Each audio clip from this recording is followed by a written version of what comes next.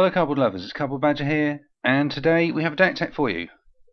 Black green minus counters, uh, a world of Hapatra. So um, I thought I would share this with you. Um, it has got a tiny splash of white though, so uh, I will explain my reasons for that uh, shortly. So um, why did I try and build this deck? Um, I wanted a new deck for Rivals. I've been playing plus one plus one counters for a long, long time. I thoroughly enjoyed it. I have changed it over time. Um, really feel that I know that deck quite well, but um, I was a little bit fearful of uh, the Merfolk. I thought I was going to see them all over the place. Um, so I went to FNM last week, which is my first week of uh, the new block, or the rivals as it were. Um, and I was expecting to see uh, fish people everywhere, but um, I didn't see them hugely. Um, I think I had two games. Uh, other than that, it was dinos and it was vampires. But yeah, uh, the idea of the minus counter deck, um, as far as I was concerned, was even if the merfolk were unblockable, uh, my counters would make them far weaker, or I could stack the counters to destroy them. But this deck that I'm going to show you today um, has got a few ways uh, in which to win, other than just killing the creatures off and trying to swing in. Um, it will drain life. Um, it will also um, allow massive creatures um, to be unblockable and hopefully swing in for the win. So, with that being said, we better get on with it, and we're going to start off with uh, the lands. So here we go. We have 22 lands in total, which is the smallest number of lands I've ever played in a deck, to be totally honest. Uh, but we do have creatures who can mana ramp and also fix colour if needed. So I was a little bit nervous about this, but so far, not that I've played this a lot, um, it may change in the future, but as of present, 22 lands. Um, I haven't had any problems yet. I may have just been very lucky. But uh, as far as the lands, uh, we have a playset. We have a whole four of Blooming Marsh. It's blooming fantastic. Um, absolutely love this card. Obviously, if you can't afford this card, um, we go forests and Swamps. So, but yeah, if you if you can do it, yes. We also have two Concealed Courtyard. We need this because we have a slight splash of white. Uh, you will find out why soon and um, I thought that would be the best card of the bunch. Uh, in addition to that, we have uh, seven forests, eight swamps, and one plains. So that makes a total of 22 lands. As far as the creatures go, um, creatures in the one drop slot, we have two Festering Mummy. Uh, Festering Mummy is a 1 1 and when Festering Mummy dies, you may put a minus one minus one counter on target creature. So this is great. If this comes out turn one, we have something. We might get a couple of points of damage in. If on turn two they've got a dude that's 2 2 and they decide to block, we do one damage with the mummy, and then we have the counter. The minus counter will then kill it. So I thought, you know, I think this is a great, a great card. I personally was thinking of uh, doing a whole playset of the mummy, but it was quite important that I had a couple of cards um, that allowed me to cycle and discard, and that's where we come to our second one drop. Uh, two of Ruthless Sniper. Uh, for one black mana, we have a 1 2, and whenever you cycle or discard a card, you may pay 1, and if you do, you can put a minus 1 counter on target creature. This again will be more relevant probably sort of mid-game um, when we get some of our other creatures out that can then start gaining us a lot of value. But um, yeah, in total we have four one drops.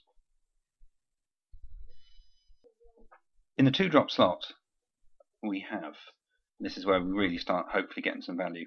Uh, we've got Channeler Initiate, which is one and a green. Um, when Channeler Initiate enters the battlefield, put three minus one minus one counters on target creature you control. Um, tap and remove a minus one minus one counter from Channeler, Channeler Initiate and add one mana of any colour to your mana pool. So here we have one, our ramp, and also our colour fixing if we needed to get any white mana. As far as do we want to chuck our three minus one counters on this or something else, um, it would probably depend on what your mana is. Um, if you really, really do need to get more mana very quickly, because um, maybe you've got some quite high drops in your hand already, then you're going to have to bung them all on here. But obviously, you can tap it, you can get rid of one counter. If you're happy with your mana, you could always bung all three of those counters straight onto your Festering Mummy. That will kill the Festering Mummy, but then you can then put the trigger from the Festering Mummy and put a minus one, minus one counter on something else. Now, you could put it back on your Channeler Initiate, to be honest, um, or you could pop it onto something your opponent's got. So basically, you would then be left with a 3-4 Channeler Initiate on turn 2. So, we are playing a whole playset of uh, Initiate. Fantastic card. Really, really love it. In addition to that, we're going to play Hapatra, Vizier of Poisons. Um, Patra, we're going to be playing three. Uh, it is legendary. Um, for a one black, one green. Um, when it deals combat damage to a player, you may put a minus one counter on target creature. Now, obviously, it could be your own creature. You could put it back onto your channeler initiate, which will then allow you to tap it and um, get the mana you want. But um, the second part is really important. When you put one or more minus one minus one counters on a creature, create a 1 1 green snake creature token with Death Touch. So, as you will begin to see, you make snakes when you start putting down minus one counters. So this is fantastic. Obviously, if you put three counters down on one target or one creature, um, you will not get three minus one minus one counters. You will get one. Um, obviously, if you have something that allows you to put them on individual creatures, you will get a snake for each counter on each individual creature. But um, yeah, if you've got a load of counters and it's all going on one, you just get that trigger once, making you one snake. But hopefully we can spread this across the board.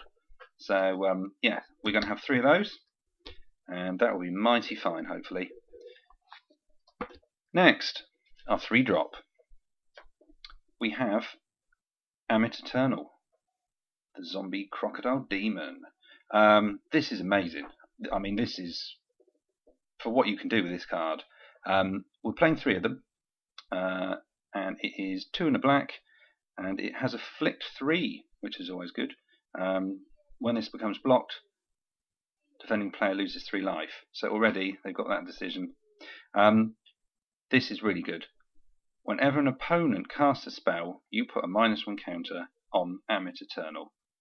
So as soon as you play this, if they start putting down spells, if they start playing creatures, um, whatever it is they're going to do, every single time they do it, this triggers and we get a counter on it. So it's going to be weaker. I mean, it's a 5 5 for 3, with obviously the downside of uh, becoming weaker every spell. But that's fine, because every time a counter goes on it, if we've got an Apat- uh, out, we get a Death Touch Snake, which is quality. So we have three of those. Oh, one thing I forgot to mention, um, if you can get this through for damage, which we will be able to do with some other bits and bobs we've got here, um, when it deals combat damage to a player, you can remove all the counters from it. So if you can sneak it through, it will then go back to a 5-5 again. On your opponent's turn, they start casting stuff, counters go back on it again, we get more snakes. So we have three of those. In addition to that, we have, and this is lovely, this card, Obelisk Spider, uh, a whole playset, and we have to. Um, it's three mana, it's a 1 4, but that's not really important. It's got reach, which could be important. Um, but it says here when Obelisk Spider deals combat damage to a creature, put a minus one counter on that creature. So it's got four. It's got four toughness. it can block. And when it blocks, it will then do them for one damage, and then the counter will kick in. We get a counter. It might not kill them, but another counter means we get another snake. Um, the good thing about this also is whenever you put one or more minus one counters on a creature, your opponent loses one life and you gain one life.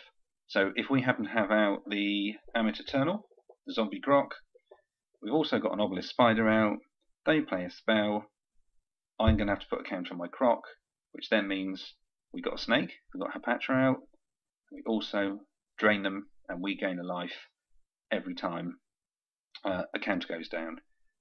We've got four of these. Um, I played on Friday. I managed to have two spiders out. So every single counter, I was gaining life. They were losing two. That that's amazing, absolutely amazing. Um, our final three drop. We have two copies of Bontu the Glorified. So we have a legendary creature. We have our god, and for two and a black, we have a four-six god. He's got menace, and he's also got indestructible. Uh, the good thing about this, obviously, it can't attack, it can't block, unless something died this turn. The good thing is, if we keep pumping out tokens and we got snakes, just snakes at the moment, but it will change. Um, we can pay two mana, we can sacrifice one of our creatures, uh, and then the opponent loses one life and we gain one life. So we're draining, we're making snakes. We're then sacrificing snakes.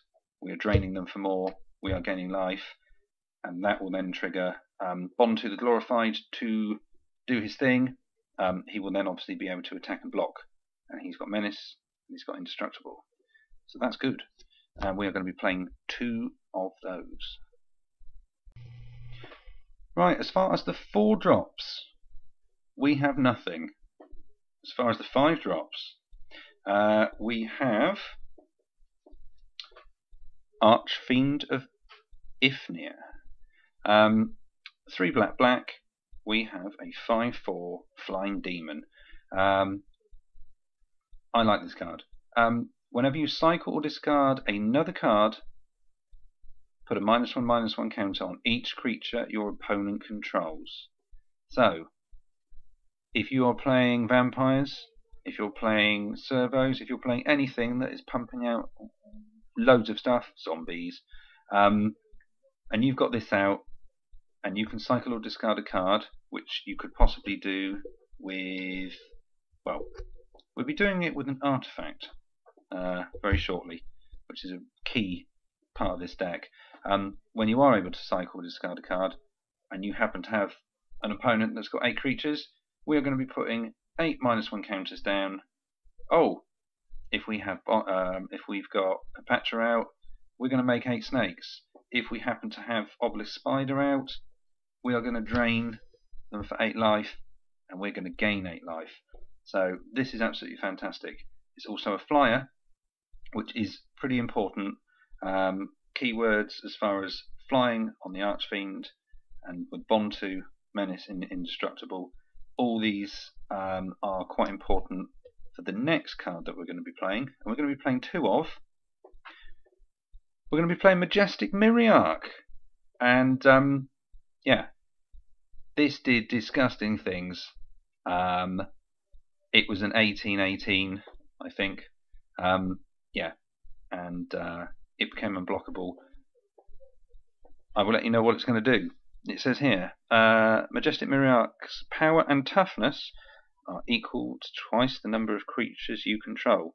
So, if we keep bunging out snakes and also other things um, with the enchantment that I haven't shown you yet, um, if we happen to have 10 things out, this is going to be a 2020.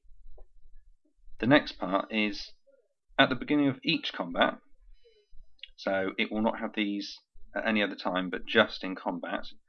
If you control a creature with flying, then Myriarch will gain flying until end of turn. This is also the same. First strike, double strike, death touch, the whole lot. Um, so this could have flying, thanks to Archfiend. It could have menace and indestructible, thanks to Bontu. Um, it should have Death Touch because of our token snakes. It can have loads of stuff. Um, and the more creatures we get, the bigger it will get. Um, yeah, I, am very excited to see just how ridiculous this one can get. So um, yeah, it did um, good things, and we do have a very good way of making it unblockable, which is going to trigger a lot of counters. We have one more creature. It's a 12 drop. We're not going to be playing it for 12, obviously. Um, we have one copy of Ghalta Primal Hunger. Um, again, this is super important because of its keyword. It's got trample. If we've got loads and loads of snakes out, uh, or maybe a croc, I mean that's five, um, we can play this quite quickly. Um, I think I managed to get this out on turn five. Um, so yeah, he's legendary, and obviously he's a 12-12, and he's got trample. And again, if we can make this unblockable with something I'm going to show you rather soon, then he can go straight in there. So with that and the Myriarch, lots of keywords. Um, as you can see by now, it's literally putting them all together and then running straight through um, with something that's unblockable. But yeah, so far it has been pretty fun. We will now do everything that is a non-creature. So, this is one of them, and this is mighty fine. We've got a whole playset of Key to the City artifact. Um, excuse me, it's two mana, and uh, you tap it and you discard a card. Ooh! There you have it. Um, discard a card, and up to one creature can't be blocked this turn. So, doesn't matter what creature we've got, we can get through our Zombie Croc, Ammit, losing all the counters on it and making it 5-5 again, to then bung a load more counters on and drain and make things. We could make it our Archfiend if they happen to have a flyer. We can get through with that one. Um, obviously, we've got Majestic Myriarch, Myriarch and we got Ghalta Primal Hunger. So um, the ability to make something unblockable is fantastic. The other thing is, when we tap it and we discard, we then have the trigger on our Archfiend, um, which then allow, because we've discarded a card, to put a minus one counter on each creature your opponent controls, which will then mean if we happen to have Majestic Myriarch out, which I did, it got stupidly big because we've now put out a load more. So just from one discard, if we've got our Archfiend out, we can put down another maybe four, five, six to uh, minus one counters, which will then make another five, six snakes, which will then make another 10, 12 power and toughness on a Myriarch, and say, actually, that is the dude that we're going to have uh, become unblockable and basically swing in for the win. I nearly did it just with him doing 26 damage. Um, unfortunately, I miscalculated um, but yeah, I was one point away from winning. So, and that was an amazing game. Thank you very much indeed, Simon. So, we've got um, four of Key to the City. The other good thing is, obviously, we've discarded a card, but um, at the beginning of our upkeep, um, we can untap uh, Key to the City. We can pay two mana and draw a card. So we can then start, if we've got a World of Mana um, that we're not really using, we can then get two cards per turn and obviously, if you've got more than one key to the city, it's even better. So we're going to play a whole playset of Key to the City. And we are also going to play a whole playset of Nest of Scarabs.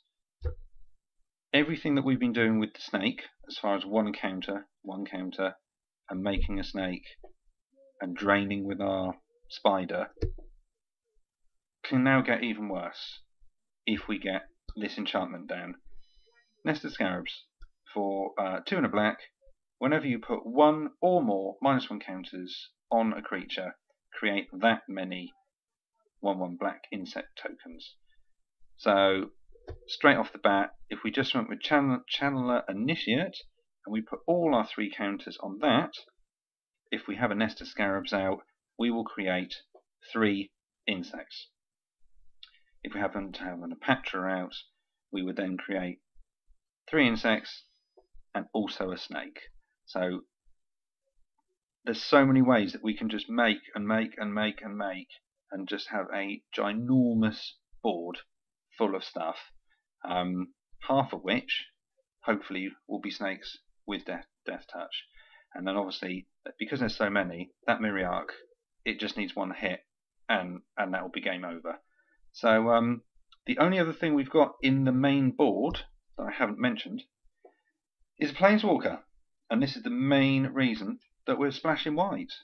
Uh, I have two copies of uh, Huatli, Radiant Champion, and this is insane. This is basically the reason that I did this deck in the first place. This Planeswalker is 4 mana, uh, 2 green and a white. It has 3 loyalty, but its plus 1 is put a loyalty counter on Huatli for each creature you control. It got huge straight away. I mean, I played it and I didn't have a lot of stuff out, and it automatically was an 11. Um, it, it's just going to be massive. Hopefully, so massive that even if everyone swung in and went for it, it would still survive. Um, the super important thing with this, obviously, the ultimate's fantastic, and you can ultimate it in theory on on your second second go. Um, its minus one ability. Target creature gets plus one, sorry, plus X plus X until the end of turn, where X is the number of creatures you control. Bung that onto your unblockable dude, or stick it on something with trample. Um, it could be anything. You know, it's it was amazing. So um, personally, I would just stick it on my Myriarch or any whatever's unblockable and just go straight in. It's going to be massive. Um, if you are going to be using the uh, ultimate, it's minus 8, which you're going to be able to get to pretty quick. Um, and you get an emblem. Uh, whenever a creature enters the battlefield under your control, you may draw a card. If you're getting a couple of snakes each turn, you're going to basically refill your hand every two goes, as long as you don't mill yourself out. So um, that is kind of the main board. Um, I think that takes me to about 57 cards, something like that. I think I played about 62 in total. Um, as far as my additional cards, um, I had Trespasser's Curse, again, draining. Um, I also had Fatal Push, um, just because I didn't want to Walk the Plank because I was fearful of Merfolk. So, Fatal Push is going to be fantastic. You just get one of your snakes or your insects to die, or sacrifice it to Bontu, and then there you have it you can Fatal Push and for one mana get rid of something that costs them four mana. Um, as far as sideboard, well, I mean, it could be anything. One thing I have noticed um, with Nest of Scarabs, uh, I'm possibly going to change it to three and put one Anointed Procession. Um, and obviously, Anointed Procession is going to double every single token um, that triggers. So I think I'm going to have to do that just to see how many tokens I can get out. So three nests, one anointed procession. I think that might be the new way of doing it. I'll give it a go, and obviously I'll put in the comments um, how it went. Did it did it improve? It's only one, but um, I don't want too many whites. I don't want many white cards. So um, I'm hoping that um, just having one, if I happen to find it, brilliant. I'm going to be able to um, hopefully draw more cards off of Key to the City, so I can start running through and getting maybe two a time, you know, two each turn. And I might find it. If I do, it's going to trigger off. It's going to be ridiculous. Um, that's what we got so far. So as far as the sideboarding, uh, sideboarding goes, I didn't really sideboard a lot to be totally honest. I just stuck with what I had, just for the fact that it was my first uh, first evening of uh, playing this deck. It was hugely enjoyable. I have got a few a few ideas for um, the sideboard. We've got Cartouche, uh, Cartouche of Ambition, uh, one of, just because if I've got a massive dude that uh, I can stick the Cartouche on, it's then going to be a life linker. That could be fantastic if Myriarch comes out, because then Myriarch it's another keyword. We can have a flying life linker, indestructible menace beast, um, and we could gain, you know, 20 life or something insane in one turn. So um, we'll go one cartouche. Uh, we've also got heroic intervention. That could save um, a board wipe as far as making everything hexproof and indestructible, if I can remember correctly. Larger than life, just so we could maybe pop something on there and get trample and plus four plus four through. Stinging shot, which I think is one green. Um, that will allow us to put three counters on something with flying. So obviously there's a chance. Um, you know, it, it, could do the servos. Um, it could do a couple of uh, dinosaurs. But um, yeah, situational. But if we really do need it, um, that could be fantastic. We're going to be able to bung three minus one counters on the dude. Um, if we have uh, Hapatra out, we're going to make a snake. If we have Nest of Scarabs out, we're going to get three uh, insects. If we happen to have Anointed Procession out, then obviously we're going to get two snakes. We're going to get six beetles. Um, it could it could be ridiculous. Um, obviously, also if we've got the spider out, obelisk spider, then that one mana is going to drain them three life, and we're going to gain three life. So um, lots of different things we can do with that. I will probably put in the comments what I end up doing over the next couple of weeks regarding my sideboard. Um, let me know in the comments below what you think should go in the sideboard. Um, yeah, this is ongoing, um, but very, very excited to uh, basically share with you all what I have tried to put together so far. Um, I hope this has made sense. Um, any improvements, please let me know. Honesty, you know, just let me know what you think. Is this a good start? Is it ridiculous? Um, obviously, the more games I play, um, I will be able to fine tune it. But I have to say, um, first attempts, I came fourth. Um, my results were uh, 2, 1, and 1. So I was rather pleased. So I got some prizes, which was nice. Um, but yeah, let me know what you think. Um, if you've got to this part of the video, then um, thank you very much for sticking with me and going through all of this. And um, if you have done, please like, share, and subscribe. And I will also just like to point out we do have a giveaway, which I'll put up um, very, very shortly. Um, click on that. It's worldwide.